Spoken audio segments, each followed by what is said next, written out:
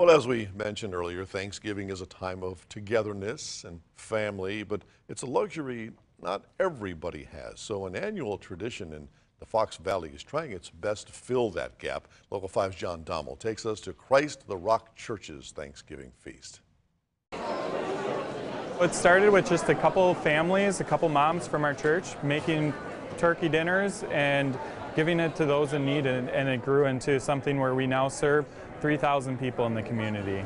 In its 20th year, Christ the Rock Church's annual free community meal has found a new home, and they want guests to feel just as much of a sense of belonging as they always have. Whether we have a lot or we have need, we're one community here and we can just spend time with one another and to just be in relationship and to care.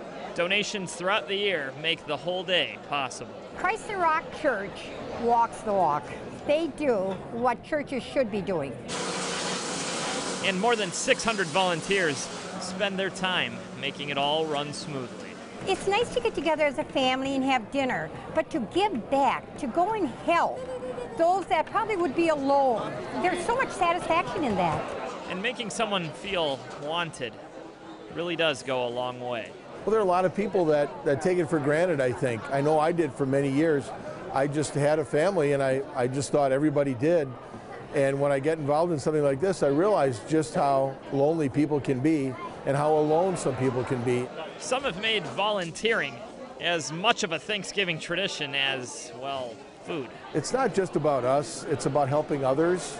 And if we can serve our community and be that conduit of, of love and concern and share some food and an experience with people, that's what we love to do. Whether you have someone to spend it with or not, happy Thanksgiving. Reporting in Appleton, John Dommel, Local 5 News. Thank you, John. And currently, Christ the Rock Church plans to stay with the Grand Meridian location in the future.